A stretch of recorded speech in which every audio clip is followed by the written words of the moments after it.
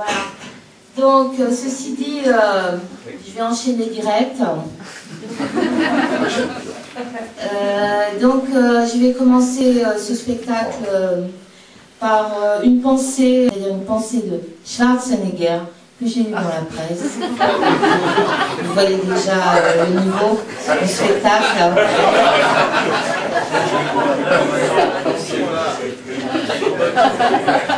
Et donc, euh, j'ai lu ça il y a à peu près, on va dire, deux ans. Hein. Je trouvais ça vraiment bien.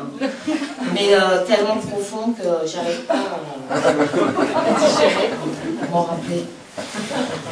Donc, si seulement on pouvait se débarrasser de la Lune, déjà ça part d'un théorème. euh.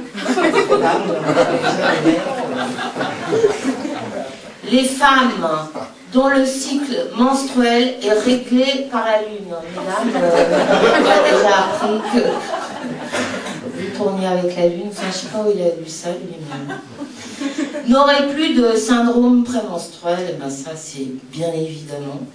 Elles arrêteraient de râler et de rouspéter. Voilà, euh, tout, tout ça vient, euh, tout ça a commencé.